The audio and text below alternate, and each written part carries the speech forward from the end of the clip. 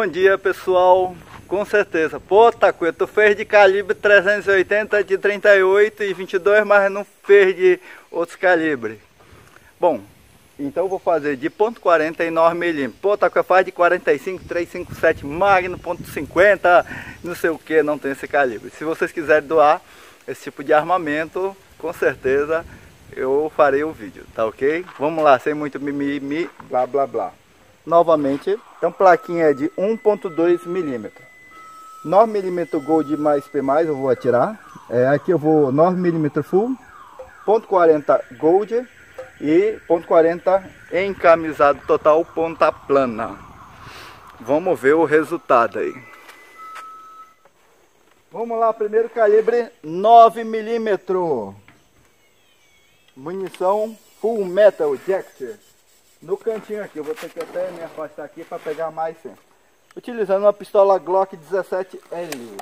Pista quente na parte de baixo. Pista quente. Ok. Munição mais P mais Gold. Né? Vamos lá ver o resultado. Muita gente fala, Tacuia, munição ponta oca não perfura a chapa. A gente vai tirar essa dúvida hoje.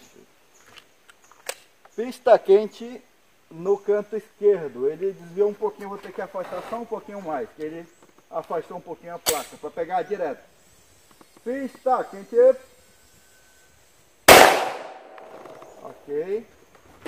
Deixa eu dar uma ajeitada melhor.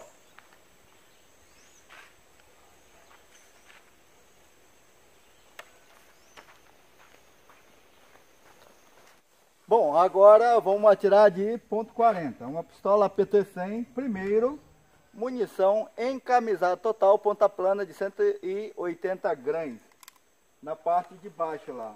Vamos ver o que que acontece. Pista quente. Ok. Munição Gold, né? Expo Gold. Não é nem mais P. O projetil de 155 gramas. Volto a falar, muita gente munição ponta oca não atravessa a chapa. Vamos tirar esse mito hoje. Veja o resultado. Ih, rapaz, ele girou um pouquinho aqui. Né? Segurança.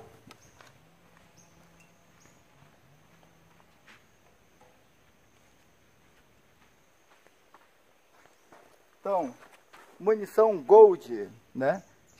Ponta oca, projétil de 155 gramas.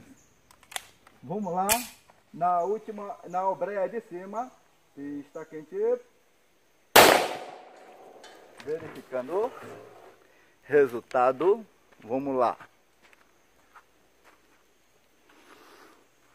Primeiro pela frente, deixa eu baixar aqui, que ele está no tripé.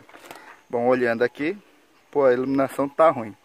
9 milímetros mais P mais Gold, né? 9mm Full Metal Eject, não sei se vai dar para ver. Ponto .40 expansiva ponta oca e encamisada total ponta plana. Vamos olhar na lateral, tá? Primeira, segunda, terceira perfuração. Pegou um pouquinho nessa arte de ferro aqui, né? Mas verificou que transfixou a mesma coisa e a parte de baixo, projétil. Caramba, tá muito quente. Gold. Encamisado total ponta plana. Esse aqui, você for verificar, ele deu uma desviada, ó. Começou aqui, depois ele tombou e desviou. A munição Gold, ele se expandiu e no finalzinho também deu uma leve tombada. Vamos agora o calibre 9mm. Aham uma coisa interessante.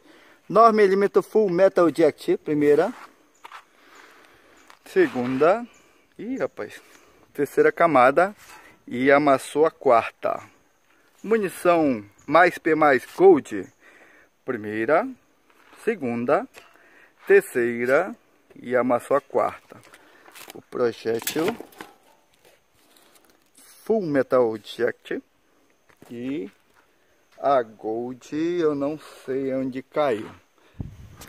Bom, é, eu tenho que refazer de novo o vídeo porque não ficou tão bom assim. Então, munição 9mm mais P+, né? Várias plaquinhas de aço. Ele na verdade tem uma, duas, três e amassou a, a quarta. Munição full metal checked, né? Primeira, segunda, terceira e amassou a quarta. Então dá munição mais P mais ponta oca. Então aí, ó, munições ponta oca também perfuram placa. Ponto 40. Encamisado total ponta plana, né? É, e munição Expo Gold, né? Verificando. Ponto 40. Encamisado total ponta plana. Primeira chapa. Segunda. E amassou a terceira. Ponto 40 Gold, primeira. Segunda. E amassou a terceira. A 9mm teve uma perfuração, uma chapa e amassou aí a mais. Mesmo em São Ponta Oca, né? E mesmo com full metal jacket. É isso aí. Quem gostou, dá aquele like aí. E quem quiser ajudar o canal, eu agradeço muito. Até mais. Tchau.